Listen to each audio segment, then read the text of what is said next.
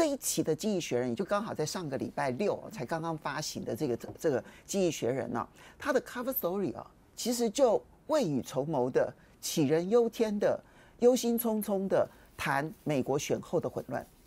这点其实是很特别的，因为现在距离十月五号还有很长的时间，大概还有四十几天。可是，在这个时间点，就先谈的是选举，不管结果如何，他们认为都有可能会造成大的混乱。我我们过去会认为说，因为以川普在二零二零年选完了之后不肯认输，说他的选举被偷走了，然后导致了二零二一年一月的时候，那时候攻进国会的这个事件。好，当时这个不认输的态度，导致美国内部其实出现了一段时间的混乱。所以，包括我在内，我相信很多人都认为，万一川普输了，美国就会陷入大乱。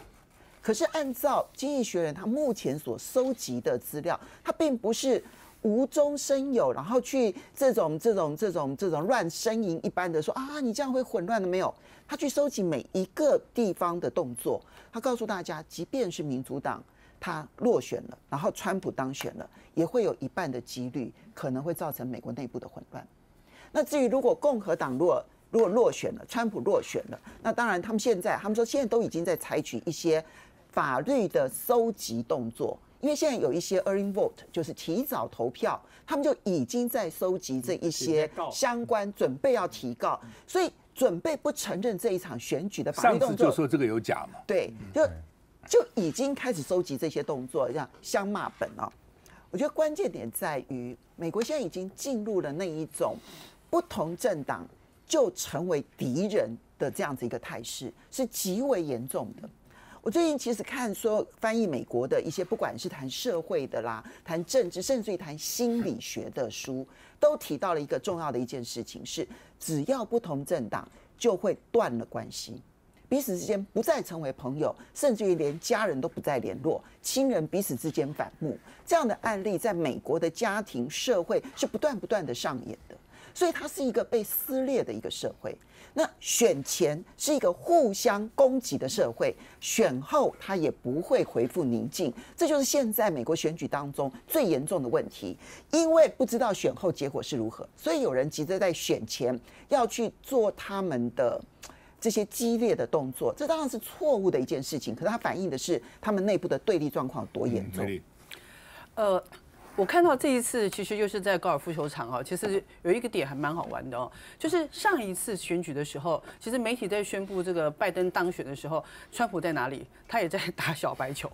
这一次呢，其实跟贺锦丽的这个辩论，这个很明显辩论完以后，其实大概呃一面倒都是说川普的表现比较不好，民调也比较落后。那他一样去打小白球。我们在选举的人，我们都知道，选前的这五十天呐，哈，如果这个选情焦灼，甚至于落后，恐怕有很多更重要的事情要做。但是他就去打小白球，可见他非常非常热爱哦。那当然，我想这个这一次的这个美国的这个维安上面哦，是有比上次更进步哦。不过，因为正因为我们都知道球场的幅员广大，要做维安本来就不容易哦。那这一次其实呃，枪手所持的这个步枪，据我的了解，其实它的射程啊，其实大概也有到大概三百到四百这个公。尺是不是这个单位？对。那其实那这次呃，大概我们发现他是在在四百五左右。其实事实上也是距离很近了哦。如果其实他这么爱打小排球，这个这个场地又这么难维安，我觉得其实这个维安事实上这个特勤是要再再加强的啦哦。那当然呃，我觉得另外一个就是说，以川普啊现在是这个呃总统候选人，行程怎么泄出去的？我觉得这一点哦，其实也蛮值得大家来来讨论的。上个礼拜刚好我们就在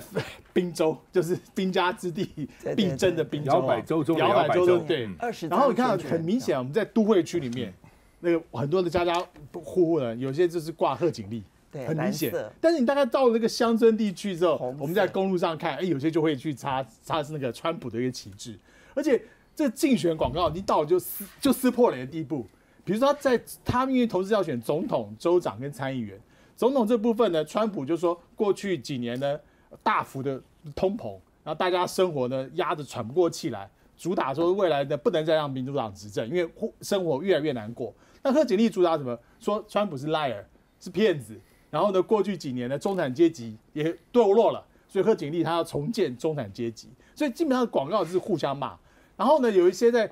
州长层级或参议员层级就直接就后面是 you got